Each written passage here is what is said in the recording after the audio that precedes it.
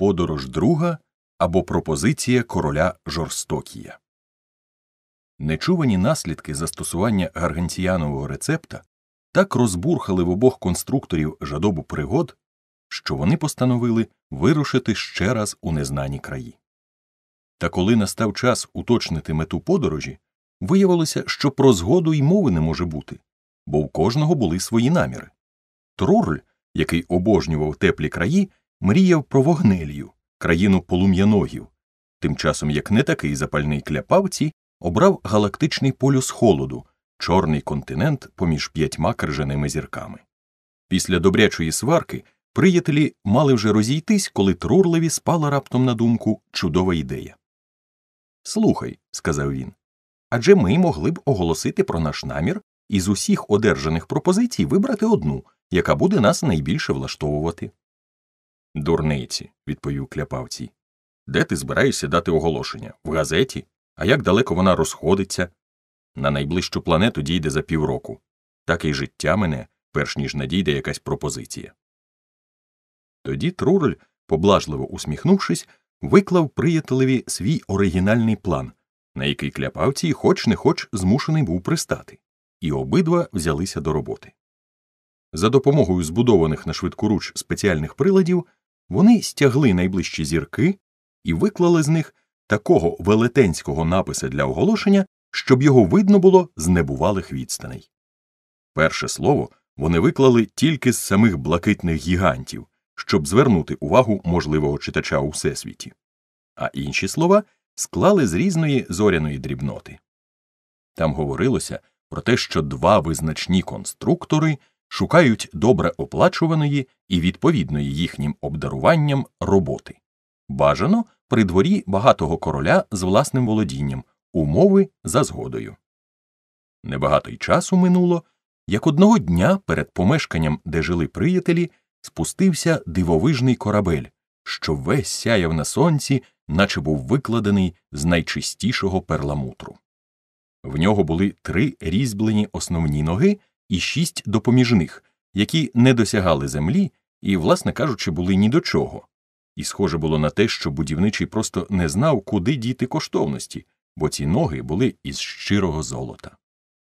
З того корабля розкішними сходами, обабіч яких одразу ж тільки на корабель приземлився, забили водограї, зійшов на землю досить таки пристойний на вигляд чужинець із почтом шестиногих машин.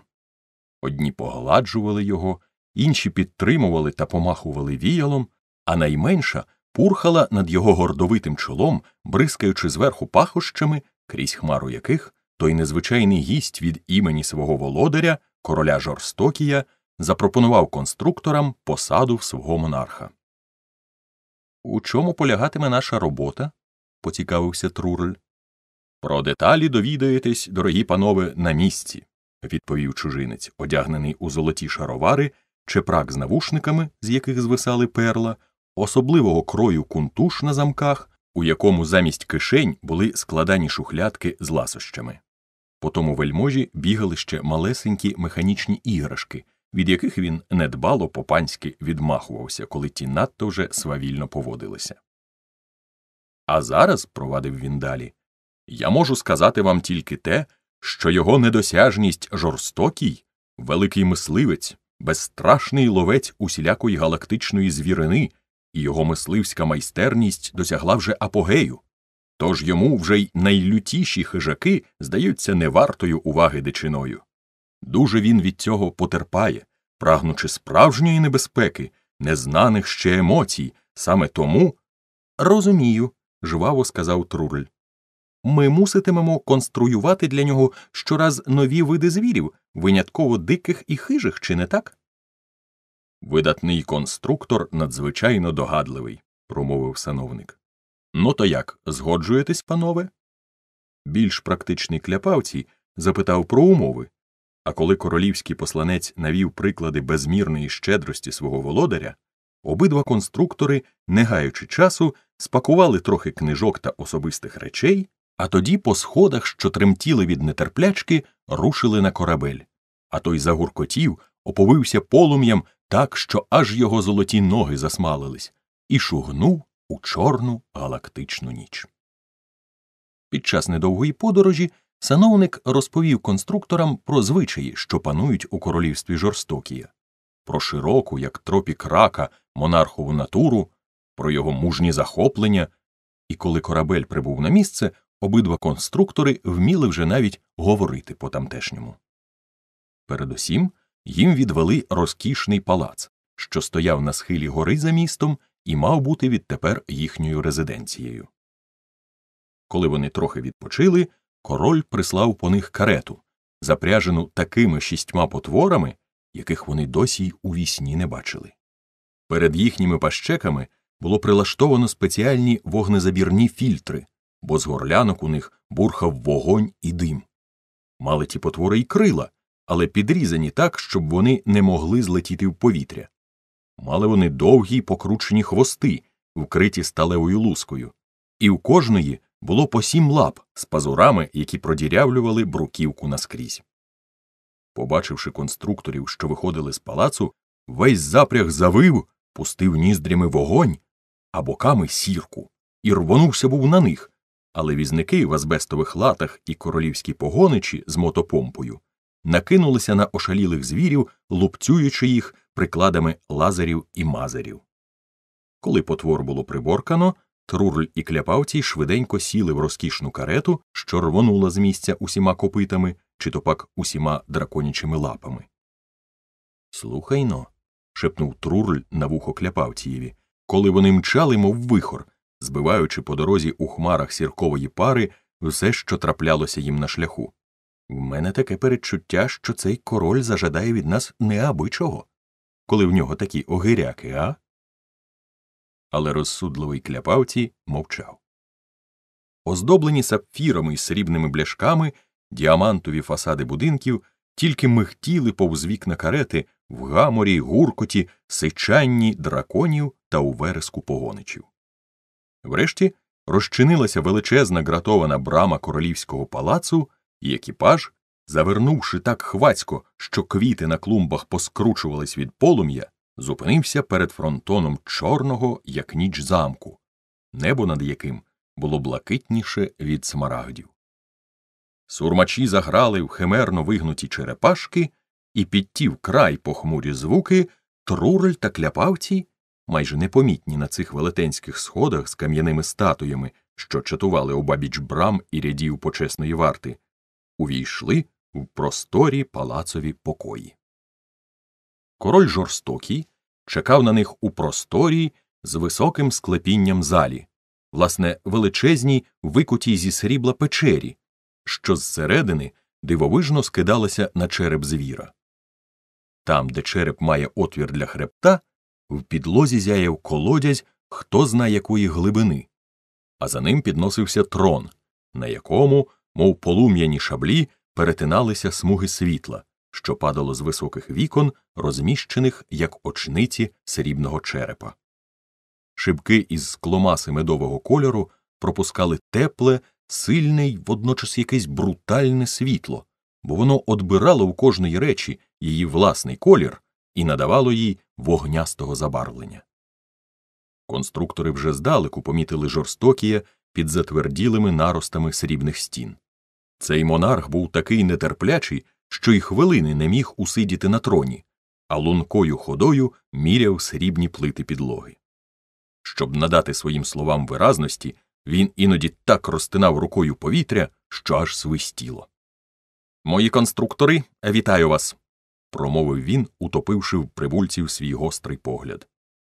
Як ви, напевне, вже знаєте від його вельможності протозора, магістра мисливських церемоній, я хотів би, щоб ви створили для мене нові породи звірини.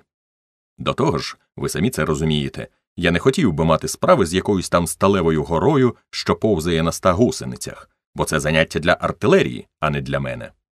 Мій супротивник має бути міцний і хижий, а також пруткий і жвавий, і понад усе нечувано підступний, щоб, полюючи на нього, я міг виявляти свою мисливську майстерність.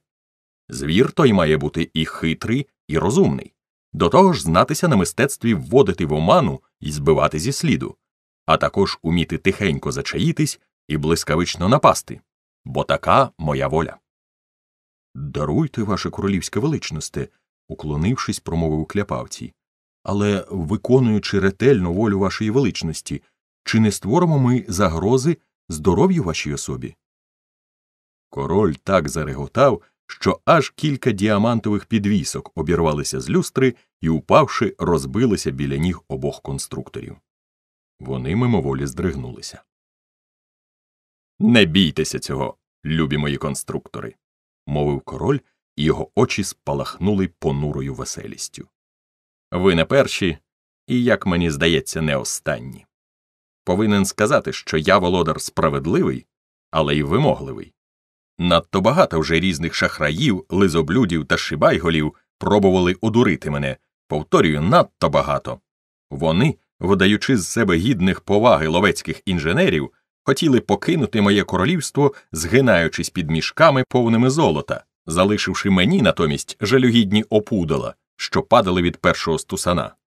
Надто їх було багато, і я зрозумів, що мушу убезпечити себе певними заходами. Отож відтоді вже 20 років, як кожен конструктор, що не виконує моїх бажань, що наобіцяє більше, ніж може зробити, одержує, щоправда, обіцяну йому платню, але разом із нею сторч голов летить в оцю безодню. Або, як того захоче, сам стає моїм звіром, і я вбиваю його оцими руками. Для цього запевняю вас, мої дорогі панове, я взагалі не потребую ніякої зброї. І багато було таких нещасливців? спитав Трурль значно тихшим від звичайного голосом. Чи багато? Сказати по правді не пам'ятаю. Знаю тільки, що досі не вдовольнив мене жоден. А той жахливий крик, з яким вони, прощаючись зі світом, падають у криницю, щораз коротший. Певне, гора трупів на дні безодні вищає, але місця там, запевняю вас, іще вистачить. По тих моторошних словах запала мертва тиша. Обидва приятелі мимоволі глянули в бік чорного отвору криниці, а король і далі походжав собі. Його могутні стопи так гупали об підлогу, немов би хто з вершини гори жбурляв у лунку безодню кам'яні брили. Однак, з дозволу вашої королівської величності, ми ще не уклали угоди, наважився пробелькотіти Трурль. То чи не могли б ви дати нам дві години на роздуми, бо ми мусимо добре обміркувати глибокі слова вашої королівської величності, і тоді буде з'ясовано, чи пристаємо ми на умови вашої королівської величності, чи. Ха ха. засміявся король, так ніби прогуркотів грім. Що, додому вертатись? Е, ні, голубчики. Ви вже пристали на мої умови, ступивши на борт інфернади, що є частиною мого королівства. Якби кожен конструктор, який потрапляє до мене, міг піти, коли йому заманеться, мені довелося б чекати цілу вічність на здійснення своїх мрій. Отже, ви залишаєтесь і робите мені чудовиська для полювання. Даю вам на це 12 днів, а тепер можете йти. Якщо вам закортить якихось розваг, сміливо звертайтеся зі своїми побажаннями до слуг, яких я дав у ваше розпорядження, бо мені для вас нічого не шкода.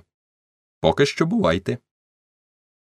З дозволу вашої королівської величності ми відмовляємось від розваг, а от чи не можна нам оглянути мисливські трофеї вашої величності, створені нашими попередниками?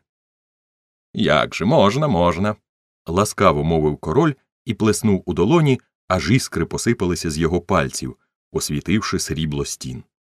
Водночас від того могутнього руху війнуло вітром, що остудив розпалені голови двох шукачів пригод.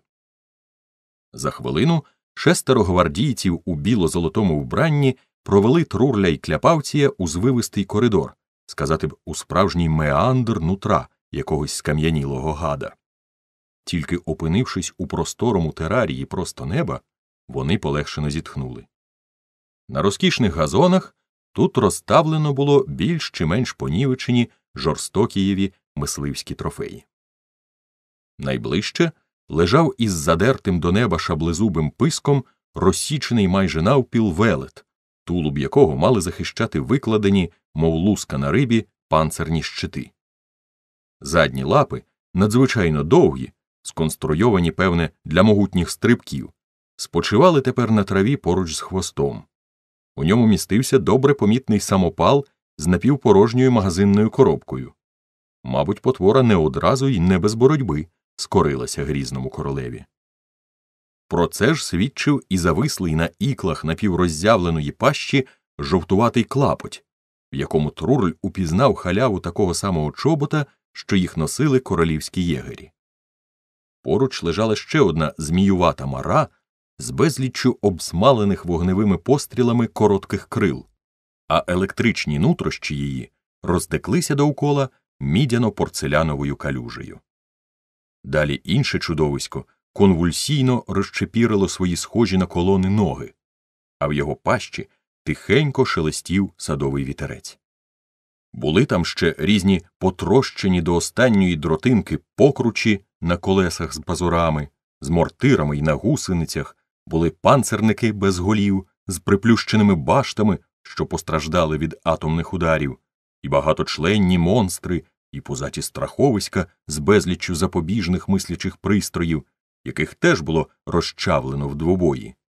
Валялися також опудала стрибуни з поламаними телескопічними кінцівками та якісь дрібні єхидни, що могли то розсипатися зажерливою зграєю, то з'єднуватись в оборонну кулю, що наїжувалася чорними отворами стволів, але й ця хитрість не врятувала ні їх самих, ні їхніх творців. Повз такі рештки проходили у врочистому, аж начебто жалобному мовчанні Трурль і кляпавці, ніби готувалися вони до власного похорону, а не до бурхливої винахідницької діяльності, аж поки дійшли до кінця незвичайної галереї королівських тріумфів. Внизу, де закінчувалися білі сходи, біля брами на них чекала карета.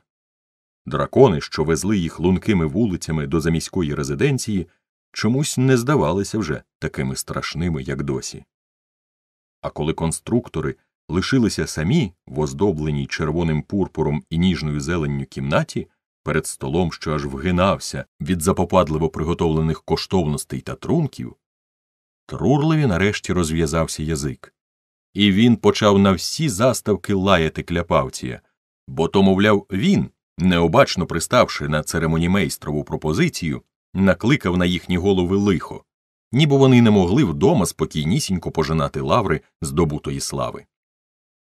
Кляпавці і словом не обізвався. Він терпляче дожидався, доки Трурль дасть вихід своєму гнівові й розпачеві.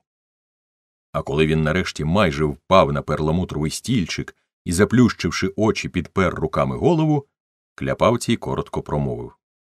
Годі, треба братися до діла. Ці слова ніби розбудили Трурля, і вони одразу ж узялися обмірковувати різні варіанти.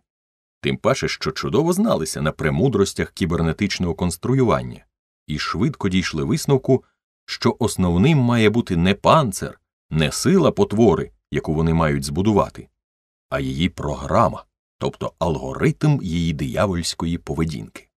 Ця істота мусить бути справжнім сатанинським поріддям, і, хоч вони не знали ще, як це зробити, але їм трохи відлягло від серця. А коли обидва конструктори засіли проєктувати ту бестію, якої так забаглося жорстокому монархові, то вклали в цю справу всю душу. Вони пропрацювали цілу ніч і цілий день, і ще одну ніч, а тоді вже подалися на учту. Коли закружляли між ними наповнені повінця лейденські банки, то вони вже такі були певні себе, що із зловтіхою крадькома посміхались один до одного щоб не помітили слуги, котрих вони слушно вважали королівськими шпигунами. Та при них вони не говорили нічого, що стосувалося справи, а тільки хвалили божевільну міць напоїв і чудові електрети з іонною підливою, що їм їх подавали, увиваючись, як в'юни лакеї у фраках. Аж після вечері тільки но приятелі вийшли на трасу, звідки перед ними під споночілим небом простяглось усе місто, з його потонулими в зелені білими вежами й чорними банями, Труроль сказав Кляпавцієві Ми ще не виграли справи, бо не все так просто. Як це зрозуміти? жваво, хоча з обережності пошепки, спитав Кляпавцій. Бо тут, бач, Ось яка річ. Якщо король покладе це механічне бидло, то упевниться, що ми не виконали його замовлення, і, поза всяким сумнівом, виконає свою обіцянку, яку я назвав би студеною. А коли все для нас складеться добре, тоді. Збагнув? Не дуже. Якщо він не покладе звіра. Ні. Якщо звір його покладе, дорогий колего, тоді той, хто посяде його трон, мабуть, нам цього не подарує. Думаєш, нам доведеться перед ним відповідати? Звичайно, спадкоємець трону радіє такій нагоді. Так, але ним буде королівський син. Чи візьметься за нас із любові до батька, чи тільки тому, що цього вимагатиме двір, нам від того не полегшає? Хіба не правду я кажу? Я про це не подумав. Засмучений кляпавцій замислився, а тоді промимрив. Справді перспективи кепські, хоч круть, хоч верть. То ти не бачиш ніякого виходу? Можна збудувати такого звіра, що копатиме багато разів, тобто король його звалить, він загине, але одразу ж знову оживе, і король знову почне полювати, знову його покладе, і так буде доти, доки монарх не стомиться. Зморений він буде лютий, зауважив кляпавці. Зрештою, як ти собі уявляєш цього звіра?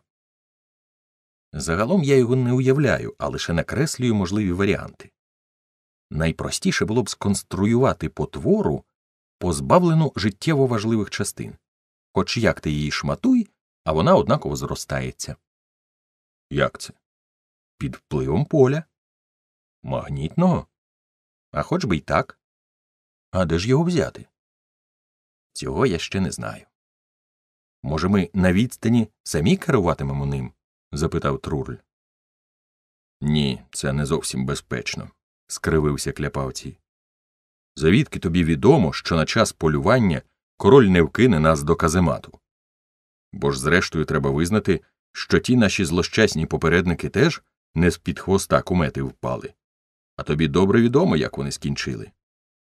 Думка про дистанційне керування мала спати на думку не одному, але вона не виправдала надій. Отже, під час двобою ми не зможемо підтримувати з потворою жодних зв'язків. Може, сконструювати штучного супутника і на ньому? міркував Трурль. Тобі, щоб загострити олівець, потрібні млинарські жорна, скипів кляпавці. Супутник. Як ти його зробиш? Як виведеш на орбіту? В нашому ремеслі немає чудес, мій любий. Ні, таке устаткування треба якось інакше сховати.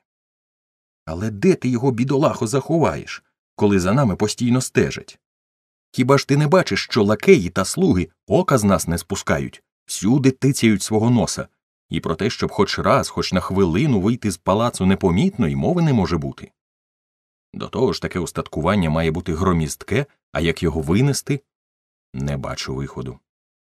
Тільки не гарячкуй, заспокоював товариша розважливий кляпавці. Може, такої конструкції взагалі не потрібно. Але ж, повторюю, мусить щось нею керувати. Якщо це буде її власний електронний мозок, король порубає її на дрібні шматочки, перш ніж ти встигнеш сказати Прощавай, прекрасний світе. Вони мовчали. Вже сутеніло, і внизу під терасою мерехтіло чимраз більше вогників міста. Раптом Труль сказав Слухай, у мене ідея. А якщо під виглядом чудовиська збудувати звичайний корабель і втекти на ньому? Можна про всяк випадок приладнати йому вуха, хвіст, лапи, які у хвилину старту відпадуть як непотрібне маскування. Вважаю, що це чудова думка. Чкурнемо і шукай вітра в полі. А що, коли серед королівських слуг є конструктор, який не виказує себе, що цілком імовірно, то ти й не зглянешся, як попадеш катові до лап. Ні, тікати це не по мені. Або ми, або він. Так стоїть питання, іншого виходу нема.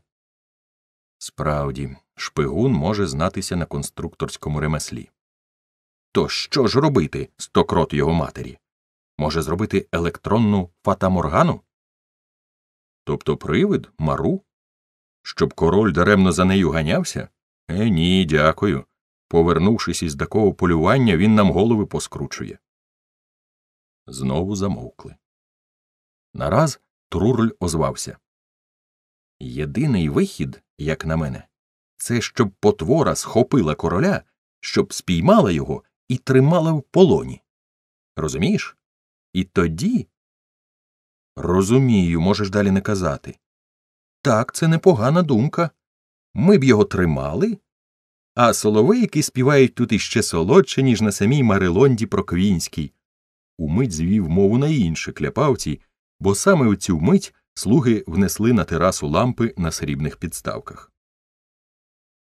Припустімо, що нам пощастить. Вів далі кляпавці, коли вони знову залишилися самі в темряві, ледь освітленій лампами. Але як зробити, щоб ми могли вести переговори з королем бранцем, коли нас засадять до кам'яного льоху? Справді, пробурмотів Трурль, треба якось інакше комбінувати. Найважливіше, зрештою, це алгоритм потвори. Теж мені зробив відкриття. Звісно, без алгоритму ані руш. Ну, гаразд, треба експериментувати. І вони вдалися до експериментів. Усе звелося до того, що вони створили моделі короля жорстокія й чудовиська, обидві, щоправда, тільки на папері, математичним способом. Трурль відповідав за короля, кляпавці й за потвору. І заходились обидва коло білих аркушів на столі з таким завзяттям, що в олівцях аж грифелі поламалися. І шалено звивалося неозначеними інтегралами чудовисько під ударами королівських рівнянь, і падало, розкладене на безліч невідомих, і знову схоплювалося, піднесене до найвищого ступеню, а король його диференціалами аж порскали в усі боки функціональні оператори. Почалося таке алгебраїчно нелінійне безладдя, що жоден з конструкторів не міг зорієнтуватися, що сталося з королем, а що з потворою, бо обоє щезли в хаосі понакреслюваних знаків. Конструктори повставали з за столу, підкріпилися, хильнувши з великої лейденської амфори, знову засіли і ще гарячковіше почали робити все заново, вдавшись по допомогу до великого аналізу. І заклубочилось на папері, аж чад пішов від розігрітих грифелів. Король гнав усіма своїми жорстокими коефіцієнтами, блукав у лісі пошестерних інтегралів, вертався власними слідами, атакував потвору до сьомого поту й восьмого факторіалу, а вона розкладалася на сто многочленів, загубила одного ікса й два іпсилони, залізла під дробову риску, почетверилася, махнула радикалами та як затопить з боку математичної королівської особи. Аж усе рівняння задвихтіло від того удару на відліг. Але тоді жорстокий затулився нелінійним панциром, досягнув точки в безконечності, миттю вернувся і як торохне потвору в лоб через усі дужки, аж у тої відразу спереду відпав логарифм, а ззаду ступінь. Отож вона втягла свої мацаки всередину, і так підступно, що тільки олівці літають, та бах, бах, трансформацією по спині, та ще раз, і вже король, спрощений, затремтів від чисельника через усі знаменники та й витягся. А конструктори посхоплювалися на ноги, сміялись і танцювали, шматуючи на клапті списані аркуші на очах у шпигунів, що даремно спостерігали їх із жирандоля в біноклі. Необізнані з вищою математикою, вони не втямили, чому конструктори кричали один поперед одного Перемога, перемога. Далеко за північ до лабораторії найтаємнішої королівської поліції внесли амфору, до якої прикладалися конструктори під час своєї тяжкої праці. Лаборанти-консультанти вмить відкрили друге потаємне дно, витягли звідти мікрофончик та магнітофончик, потім, з'юрмившись над апаратурою, пустили їх у рух і багато годин підряд з величезною увагою прослуховували всі слова, які звучали в залі із зеленого мармуру. Вже промінь ранкового сонця впав на їхні видовжені обличчя, а їм нічого з того, що вони почули, не вдавалося зрозуміти. Один голос говорив Ну що, ти підставив короля? Підставив. Де він у тебе? Тут? Гаразд. Тепер отако? Ноги разом. Тримай ноги разом, кажу.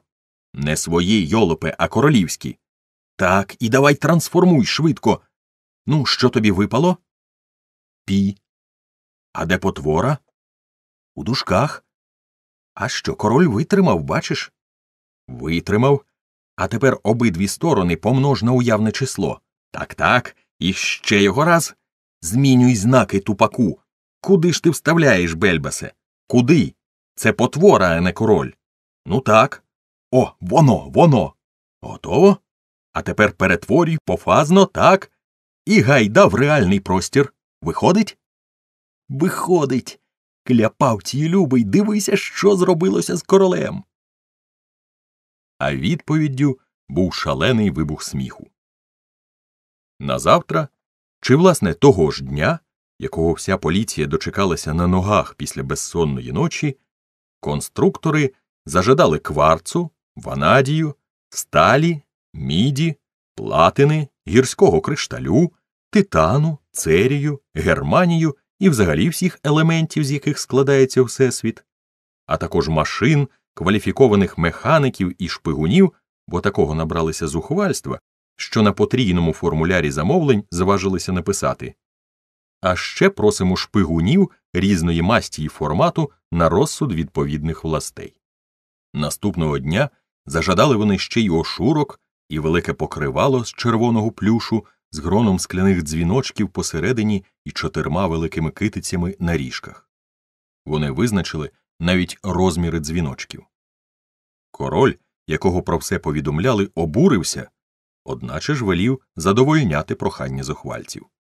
Поки що. А що королівське слово святе, одержали конструктори все, чого хотіли. І було те щоразу щось нове і нечуване. Так під номером 48999 дріб 2 К дріб Т надійшов до поліційних архівів примірник копії замовлення на три кравецькі манекени і шість повних комплектів уніформ королівської поліції з поясами, зброєю, ківерами, плюмажами і наручниками, а також трирічні підшивки часопису Поліцай вітчизни із списком друкованих матеріалів за три останні роки. Водночас у рубриці Примітки вони запевняли, що вище зазначені предмети зобов'язуються повернути цілими і неушкодженими протягом 24 годин з моменту одержання. В іншій справі було підшито копію листа, де Кляпавтій вимагав негайно доставити ляльку, що являла б собою натурального розміру копію міністра пошт і телеграфів у повній парадній формі, а також невеличку пофарбовану зеленим бричку з гасовим ліхтарем по лівий бік та гарним блакитно-білим написом іззаду Слава праці. Після ляльки з бричкою шеф таємної поліції схибнувся з розуму і змушений був іти на пенсію. Ще через три дні конструктори зажадали бочку рожевої рецинової олії.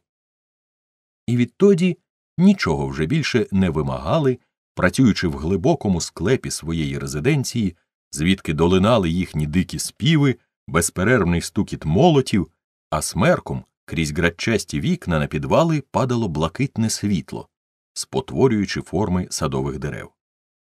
Там, у кам'яних стінах, при синьому сяєві електричних розрядів, крутилися трурль і кляпавці з помічниками. Коли хтось із них підводив голову, то бачив прикипілі до шибок обличчя різних служників, що ніби просто з цікавості фотографували кожен їхній рух. Якось уночі, коли змучені конструктори пішли спати, частину апаратури, що її вони власноручно сконструювали, негайно перевезли таємним експресом до королівських лабораторій, де її тремтячими пальцями розбирало 18 найвизначніших судових кібернетиків, що склали перед цим велику державну присягу. І тут з під їхніх рук вилізла велика олив'яна мишка, котра, пускаючи писочком мильні бульбашки, бігала по столу, а з під хвостика в неї сипався крейдяний пил, та так хитро, що вийшов каліграфічний напис То ви справді нас не любите? Ще ніколи в історії королівства начальники таємної поліції не змінювалися так швидко. Уніформи, манекени, зелену бідарку, як і ошурки, що їх негайно повернули конструктори, все це обстежувалось електронними мікроскопами. Одначе, крім клаптику паперу в ошурках зі словами Це ми, ошурки, нічого не знайшли. Перетрусили навіть окремі атоми уніформ та бідарок, але жодних наслідків. Нарешті настав день, коли роботу було закінчено. Величезний, схожий на герметичну цистерну повіз на трьохстах колесах, підкотив до муру, яким було обнесено резиденцію Трурля і Кляпавція. Через розчинену браму конструктори винесли покривало, оте з дзвіночками й китицями, і після церемонії офіційного відкриття дверей поклали його на підлогу. Тоді залізли всередину і при зачинених дверях щось там робили.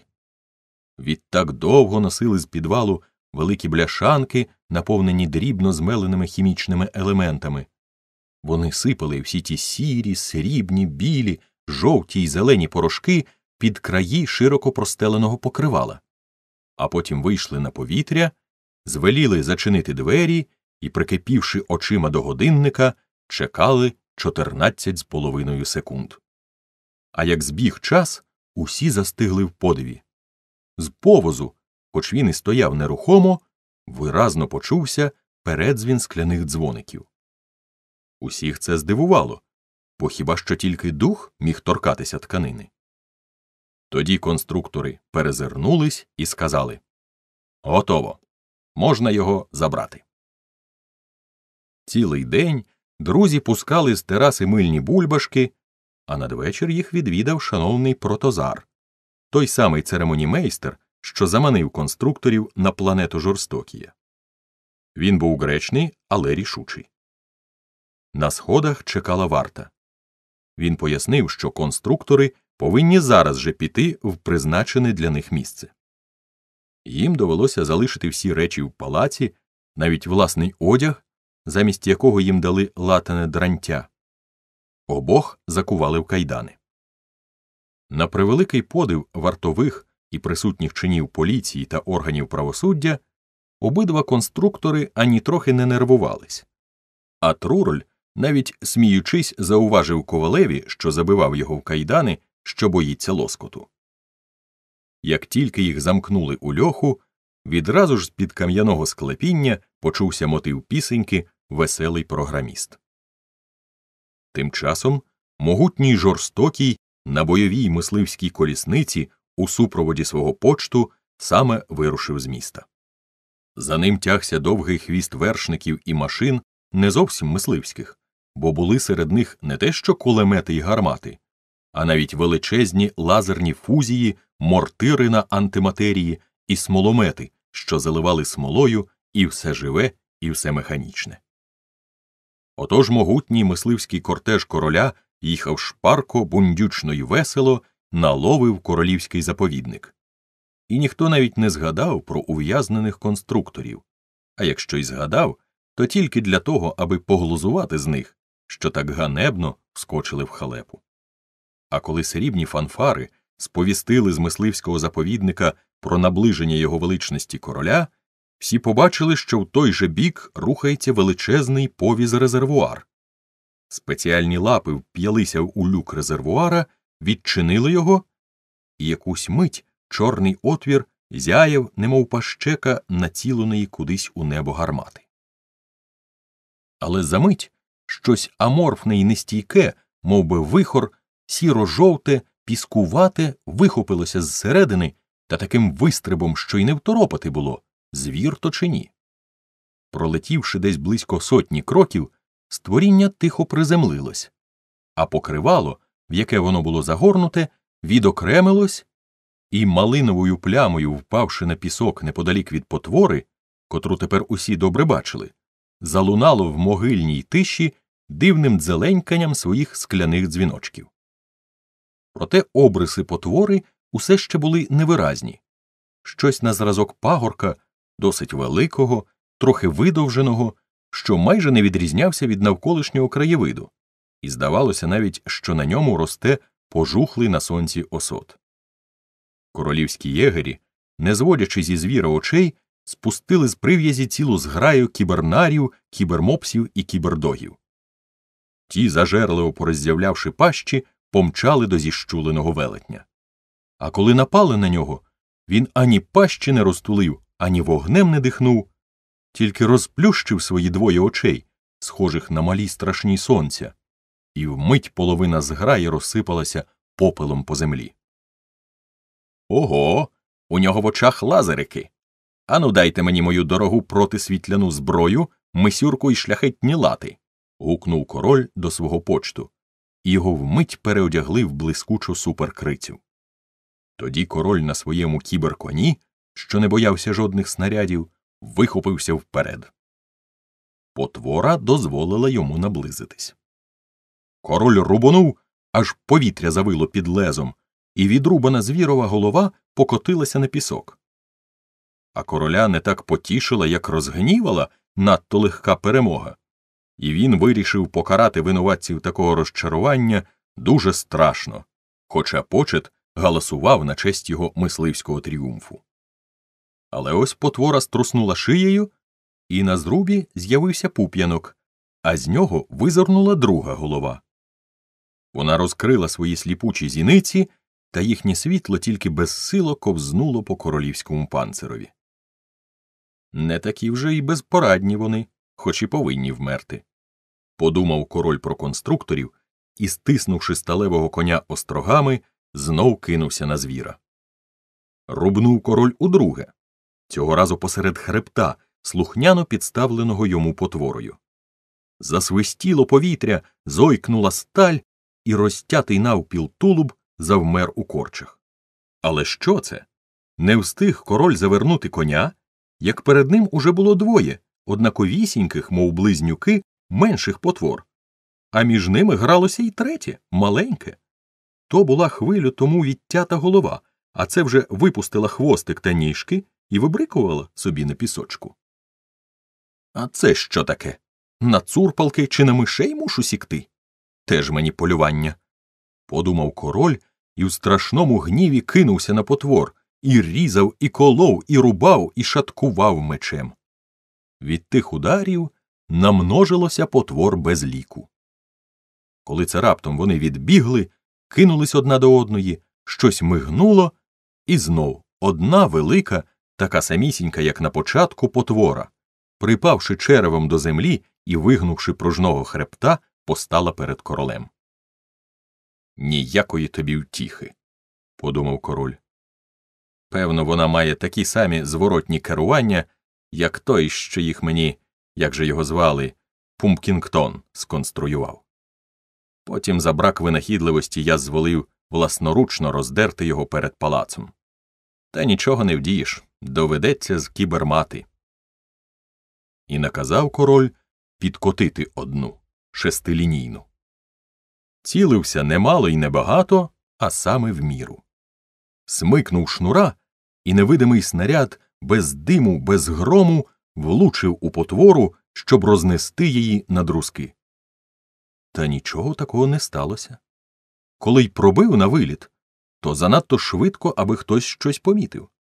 Потвора ще більше припала до землі, виставила вперед ліву лапу, після чого всі побачили її довгі волохаті пальці. Вона тицнула королеві дулю. Дайте мені більшого калібру.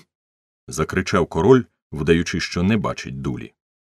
І двадцять слуг котять уже, набивають гармату, король прицілюється, палить, і тієї ж миті звір стрибає. Король хотів закритися мечем, та поки це зробив, потвори не стало. Ті, котрі бачили це, розповідали згодом, що мало з глузду не з'їхали. Звір у повітрі розділився на троє. Метаморфоза була блискавична. Замість сірої маси з'явилися три персони в поліційних уніформах, які ще в повітрі приготувалися виконати свої службові обов'язки.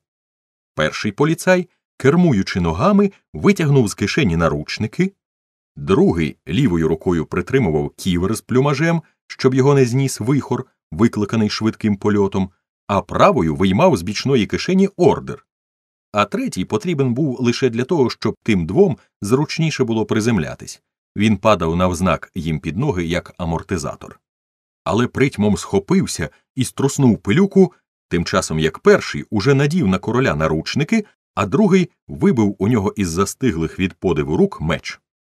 Закутого в наручники короля вони повели в пустелю. Посувалися довгими стрибками і тягли за собою монарха, що, власне, й не чинив їм опору. Якусь мить увесь почет стояв як укопаний. А потім заревів в один голос і кинувся навздогін. Уже кіберконі ось ось наздоженуть утікачів, уже скреготять мечі, добуті з піхов, але ту ж мить третій поліцай увімкнув щось собі на животі, зігнувся, руки його перетворилися на два дишла, ноги скрутилися, в них уже заблискали шпиці, а на спині, що стала козлами зеленої брички, сидить поліція і довгим батогом шмагає короля, а той у хомуті, руками вимахуючи, ховаючи короновану голову від ударів, мчить, як скажений. Аж ось погоня наблизилася знов. Тоді поліцаї вхопили короля за карк і межи себе. Один, швидше, ніж це слово сказати, зсунувся поміж дишла, стукнув, грюкнув і перетворився на веселковий стовп повітря, на громовержний гвинтокрил, від чого в тарадайки й справді, наче крила виросли. Розкидаючи пісок і несамовито гуцаючи на вибоях, полетіла вона так, що за хвилину її вже тільки й бачили серед піщаних дюн. Королівський почет розсипався, шукаючи слідів, послали по собак шукачів, а тоді на пожежних мотопомпах примчав резервний загін поліції і став гарячково поливати пісок, бо в надісланій із спостережного пункту в хмарах шифрованій телеграмі через поспіх та через те, що в телеграфіста тремтіли руки, сталася помилка. Загони поліції гасали по всій пустелі, обшукували, де який кущ був чи осот, просвічували все портативними рентгеноапаратами, понавикопували безліч ям, узяли з них проби на аналіз. Сам генеральний прокурор наказав привести на допит королівського кіберконя. Від таємних дирижаблів увечері аж поночіло. На пустелю скинули навіть дивізію парашутистів із пилососами, щоб просіювали пісок. А всіх, хто скидався на поліцаїв, затримували. Але це було не так уже й просто. І сталося під кінець таке, що одна половина поліції заарештувала другу. Коли запала ніч, осовілі перелякані шукачі верталися до міста з трагічними звістками. Бо не пощастило напасти на жоден слід. Монарх, наче крізь землю, провалився. Серед ночі, при світлі смолоскипів, негайно привели закутих у кайдани конструкторів перед очі великого канцлера й охоронця королівської печатки. А той громовим голосом сповістив їм За те, що ви влаштували згубну пастку найвищому монархові, за те, що насмілилися піднести руку на вельможного пана, його королівську величність володаря й самодерця жорстокія, ви будете четвертовані, дрильовані, шпиговані, після чого спеціальним вентилятором-пульверизатором розпорошені на всі чотири боки світу, на вічну пам'ять і застереження проти підлого злочину царевбивства, тричі й без апеляції. Амінь. І це зараз? питає Трурль. Бо ми чекаємо посланця. Якого ще посланця? Ти, підлий злочинцю. Але справді ту ж мить до зали заткує варта, яка не насмілюється зупинити перехрещеними алебардами самого міністра пошт і телеграфів. Його світлість при всьому параді, побрязкуючи орденами, наближається до канцлера із прикрашеної діамантами торби, що висить у нього на животі, витягає листа. Промовивши Хоч я й штучний, але від короля походжу, розсипається дрібним маком. Канцлер, не вірячи власним очам, впізнає витиснений на червоному сургучі королівський знак, розламує печатку, витягає з конверта листа і читає про те, що король змушений вдатися до переговорів із конструкторами, що застосували алгоритмічні та математичні способи, аби його схопити, а тепер ставлять умови, які канцлер, коли йому дороге життя короля, повинен вислухати і погодитися. Підпис Жорстокий. Писано в печері невідомого місця розташування у полоні в потвори псевдополіцая єдиної в трьох обмундированих особах. Тоді ж чинився страшний гвалт і лемент. Кожне, намагаючись перекричати інше, стало питати, що ж то за умови, що все це означає. Але Трурль правив одне Передусім прошу зняти наручники, бо інакше нічого не буде. Ковалі навколішки розковують конструкторів, усі до них кидаються, а Трурль знову своєї. Ми голодні, брудні, немиті. Хочемо запашної купелі, пахучих квітів, розваг, щедрої вечері, балету на десерт, бо інакше нічого не буде. Уже до білої гарячки дійшли всі придворні жорстокого можновладця, але мусять і на це пристати. Аж на світанку повернулися конструктори на аудієнцію і принесли їх лакеї під паланкіном, свіжих, пахучих, у чудові шати вбраних. Сіли вони до зеленого столу і почали ставити умови не по пам'яті, щоб, не дай Боже, бува, чогось не забути, а з маленького записника, що весь час лежав схований за фіранкою в їхній резиденції. Почалося зачитування. Перше. Має бути приготовлений першокласний корабель, що відвіз би їх додому. Друге. На тому кораблі має бути навантажено всякої всячини в такому розмірі діамантів 4 пуди, золота червоного 40 пудів, платини, паладію і ще бозна яких коштовностей у 8 разів більше, а також різних сувенірів, що їх зволять вибрати собі у королівському палаці ті, що нижче підписалися. Третє. Доки корабель не буде загвинчено на останній гвинт, навантажено і вилаштовано в дорогу, подано до палацу з килимом на східцях і прощальним оркестром, орденами на подушечках, почестями, дитячим хором, великим оркестром філармонії у парадній залі і у супроводі загального ентузіазму, доти ніхто не побачить короля. Четверте. Має бути приготовлений вітальний адрес, видрукований на золотій бляшці з перламутровою інкрустацією. Ясновельможним, безмірно щирим панам Трурлеві та Кляпавцієві, де повинна бути детально описана і скріплена великою канцелярською печаткою з королівською короною вся ця історія, засвідчена підписами і запломбована, як у футлярі в гарматному стволі. Адрес має внести на власних плечах без нічиєї допомоги на борт урядовець Протозор, церемонімейстер, що спокусив ясновельможних конструкторів на цю планету, замисливши таким чином довести їх до ганебної смерті. П'яте. Цей урядовець має потім летіти разом з конструкторами до їхньої домівки як гарантія недоторканості і неможливості будь-якої погоні й такого іншого. Причому на кораблі він весь час сидітиме в клітці завбільшки три кроки на три і на чотири, з віконцем для годування і підстилкою з ошурків. Ошурки мають бути ті самі, що їх ясновельможні конструктори уклінно просили для виконання королівських забаганок і що їх перевезено потім до таємних поліційних архівів. Шосте. Після звільнення король не зобов'язаний особисто перепрошувати ясновельможних конструкторів, оскільки вони нехтують перепрошенням такої особи. Написано, підписано, датовано і так далі, і таке інше Трурль та кляпавці за конструкторів умоводавців, а також великий королівський канцлер, великий церемонімейстер і головний оберполіцмейстер повітряно-земно-водної таємної поліції з умововиконувачів. І що ж мали чинити придворні й міністри, що аж посиніли від злості? Ясна річ, погодитись на все. Затим страшенно поспішно виготовляється ракета. конструктори після сніданку самі приходять на монтажний майданчик для контролю.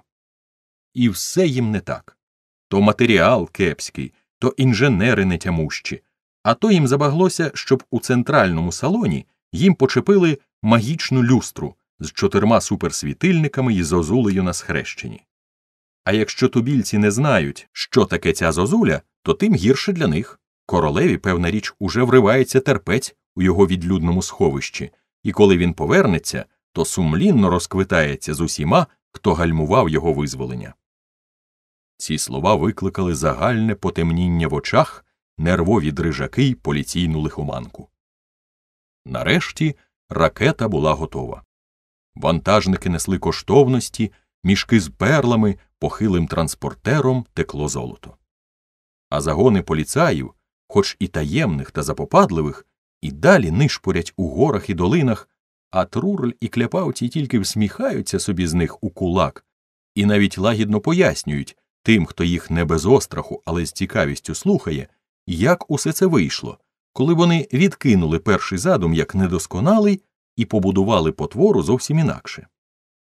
Вони не знали, де і як вмонтувати їй центр регулювання або мозок, тому довелося всю її сконструювати з мозку, щоб вона могла думати ногою, хвостом чи пащекою. Її, до речі, задля цього геть усю заповнили зубами мудрості. Але все це тільки вступ, а справжнє завдання складалося з двох частин психологічної та аморитмічної. Спершу треба було з'ясувати, що може приборкати короля. З цією метою мала діяти поліційна група, відділена з потвори шляхом трансмутації. Бо поліції, що має на руках бездоганно заготовлений ордер на арешт, ніщо в космосі не може опиратись. Оце й усе щодо психології. Слід тільки додати, що геніального поштмейстера було включено також із психологічних міркувань, бо нижчий за рангом чиновник міг би його не пропустила б сторожа, не вручити листа, і це коштувало б конструкторам голови. Штучний міністр виконував роль посланця, крім листа, він у поштарській сумці мав іще дещо на той випадок, якби довелося підкупити алебардників. Усе було продумано. Щодо алгоритмів, то треба було тільки винайти таку групу потвор, визначеною і обмеженою підгрупою якої була б власне поліція. Алгоритм потвори передбачав безнастанні трансформації для кожного нового виду перетворення. Цей алгоритм несимпатичним чорнилом введено хімічно у покривало з дзвониками. Отож потім він сам діяв на елементи саме завдяки потворно поліційній самоорганізації. Одразу ж зазначимо, що згодом конструктори вмістили в науковому часопису працю під назвою Загально рекурсивні ета-мета-бета функції для окремого випадку трансформації поліційних сил у поштові та потворні сили в колі компенсації дзвіночків, розв'язані для 2, 3, 4 і пі колісної зеленої бідарки з топологічною гасовою лампою при застосуванні оберненої матриці на рециновій олії, забарвленій для відвертання уваги в рожевий колір, або загальна теорія моно і поліційної потвористики в математичному аспекті. Ясно, що ніхто з придворних канцлерів, офіцерів і самої вкрай вимученої поліції ані слова з усього цього не втямив. Але що то важить? Хто знає, чи мають піддані короля жорстокія шанувати конструкторів, а чи ненавидіти їх. Все вже було готове до старту. Трурль ходив по палацу і, згідно з умовою, раз по раз знімав зі стіни якусь прикрасу, милувався трохи нею і кидав у лантух, наче свою. Нарешті бідарка везе хоробрих конструкторів на аеродром, а там уже натовп, дитячий хор, дівчатка в національних костюмах підносять їм букети квітів, діячі зачитують з папірців вдячно прощальні промови, грає оркестр, дехто, у кого слабкі нерви, не притомніє, і ось настає мертва тиша. Тоді кляпавці виймає з рота зуба, щось у ньому повертає, бо то не звичайний зуб, а приймально передавальна станційка, натискає і на небосхилі з'являється піщана хмаринка. Вона помалу збільшується, залишаючи за собою смугу куряви, і що ближче, то з гучнішим гуркотом приземляється на вільний майданчик між повітряним кораблем і натовпом, загальмувавши так, що аж пісок порснув на всі боки. І присутні з переляком бачать, що це потвора. Страх яка бридка, а очі в неї, наче сонця. Шмагає себе по боках зміїним хвостом, аж іскри летять, випалюючи дірки на парадних, а отже не на панцирних уніформах сановників. Випусти короля, каже кляпавці, а потвора на це звичайнісіньким людським голосом відповідає. І не подумаю. Тепер моя черга проводити переговори. Ти що, з глузду зсунулась? Згідно з матрицею, ти повинна слухатися нас. При загальному остовпінні сердито кричить кляпавці. А навіщо? Чхала я на вашу матрицю. Я потвора алгоритмічна, антидемократична, із зворотним керуванням, із смертельним поглядом, з поліцією, амуніцією, орнаментацією та самоорганізацією. Король сидить в мені без руху, від нього ні слуху, ні духу. Візьміться під боки, ступіть чотири кроки, вітаєте свого пана, компанія кохана. Ось я тебе привітаю. кричить розгніваний кляпавці, а Трурль питає потвору. То що ти хочеш? І ховається за кляпавція, виймаючи з себе зуба, але так, щоб потвора не помітила. По-перше, хочу взяти за жінку. Але ніхто так і не довідався, з ким потвора прагнула побратися, бо Трурль натиснув на зуба й промовив Ерем терем триндирадло, згинь гемонське чуперадло. Магнітно динамічне зворотне керування, яке тримало вкупі всі атоми потвори, під дією цих слів вмить розслабилось, а сама вона заблимала сліпаками, залопотіла вухами, ревнула, хвицнула, затіпалась, але це нічого не допомогло. Тільки вітром гарячим, залізом припахченим дмухнуло й війнуло, а потвора як стояла, так і розсипалась, як висохла баба з піску, коли її пхнути ногою. Залишився тільки маленький горбик, а на тому горбику король. Живий, здоровий, хоч і знічений, насуплений, невмиваний і дуже лютий, що таке з ним сталося. У нього все в голові перемішалося, сказав Трурль, і ніхто не зрозумів, кого він мав на увазі короля чи звіра, який силкувався збунтуватися проти своїх творців, котрі, звісно, передбачили і цю небезпечну можливість. А тепер, підсумував Трурль, прошу посадити церемонімейстера в клітку, а нам час до ракети.